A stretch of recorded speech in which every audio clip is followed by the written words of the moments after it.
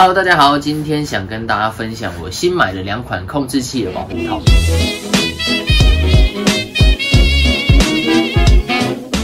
说到为什么要买这个保护套呢？其实我自己是比较懒的人呐，比较不会想要再多买这些东西。主要真的是因为我真的太常用这个控制器打到自己，因为我是在我自己的房间里面玩嘛，所以我就会打到我的床啊，打到我的电风扇，打到我的衣柜等等。这控制器在官网也是卖一个六十九美金，那也是蛮贵的啊。你下定了这个之后，然后你要等海关，然后等个七天、十天之类的，那也许更长，也许更短。那总之就是你就没办法用了嘛。我能想到的办法就是你可能就只能用，你可能就你这段时间就。可能只能玩那个手部追踪的游戏了。回到正题，那今天我买的这两款的那个控制器保护套，是一款是这种细胶材质做的。我有买这个类似铆钉或是指虎形状的啦，外面也不一定是有卖这种有铆钉的，主要就是它这是一个细胶材质的，然后是这种弹性蛮好的。它这边会有做一些信号的切口的设计。另一款就是这种防撞支架的保护套，这两款是我在市面上蛮常看到的两种保护套。我今天就想要买来玩玩看，来顺便看看这两款的保护效果，或者是有什么优缺点等等，可以做分享给大家。那我们就详细来看看我们的开箱影片吧。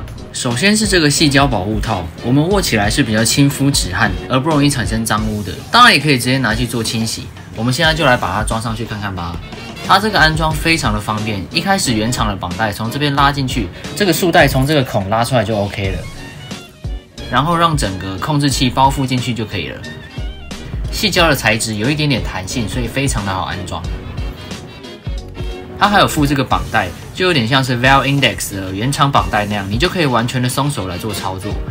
呃，不像原厂的束带一样，只是单纯的让你不要甩掉控制器而已。我们把它整个装好以后，就可以看看，先看看它的手掌跟无名指这边有做一些凸点的指花，让你握持的手感更加好。接下来就是上面这个类似铆钉形状的凸起，它可以让我们在撞到障碍物的时候有一些冲击的保护。中间它有做一些预留信号的切口设计。那我目前玩了几款游戏，都还没有出现信号侦测错误的状况。但是重点就是这个但是。当我玩到 B Saber 的时候，出现很大很大的问题，就是它整个保护套会滑出来，因为保护套是比较松的，再加上这个 B Saber 的打击是做挥砍动作的，慢慢往下滑，就跟它原本切口设计的位置不一样，就有可能造成信号侦测的错误。大家可以来参考看看。再来就是这个防撞支架，它就是一个环形的支架，镂空在控制器的周围。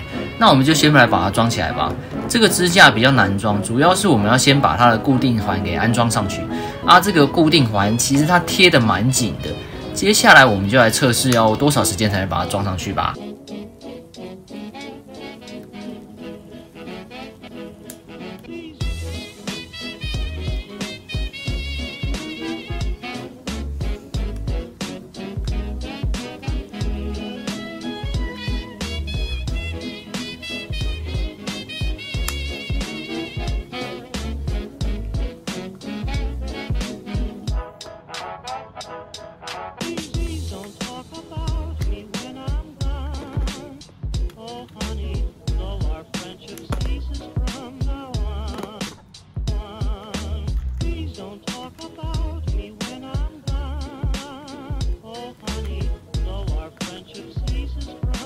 固定环安装好之后，我们就可以把我们的支架装上去了。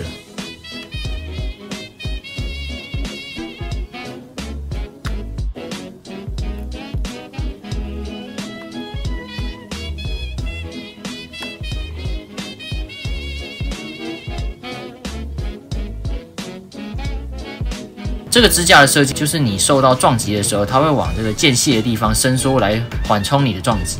那因为它没有跟控制器有直接的接触，我觉得防撞效果应该是会更好的啦。